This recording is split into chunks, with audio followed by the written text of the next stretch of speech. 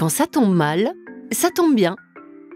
En cas de coup dur, le Fonds de solidarité de la branche mutualité peut apporter une aide financière. Pour l'instant, Lucas ne s'en soucie pas, mais la vie réserve des surprises. C'est le cas de le dire. Double fracture du bassin, trois mois d'immobilisation, et en plus c'est l'année du bac. Ça tombe mal. Bilan, il faut financer le fauteuil roulant, l'aide à domicile et le lit médicalisé.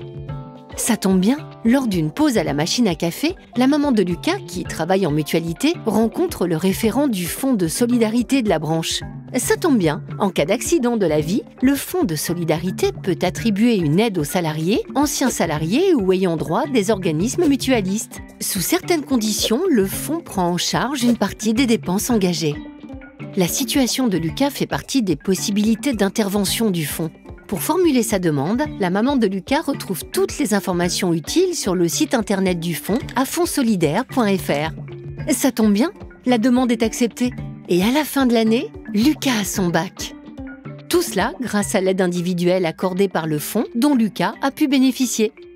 Saviez-vous que les organismes mutualistes aussi ont la possibilité de solliciter le fonds? Eh oui, le fonds peut accompagner la prévention des risques professionnels, l'insertion des travailleurs en situation de handicap, l'amélioration des conditions de travail. Des actions ont déjà été réalisées par des employeurs avec l'aide du Fonds de solidarité sur la prévention des risques routiers, des risques psychosociaux, l'amélioration de la qualité de vie au travail ou encore la formation des managers sur le handicap.